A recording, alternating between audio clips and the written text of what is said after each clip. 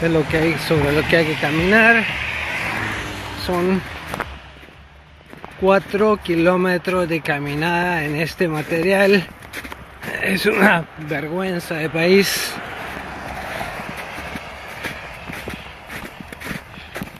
Y esta es la acera para peatones. Qué vergüenza. Esto es Milton, Ontario. Un país supuestamente desarrollado. Yo diría país para bestias.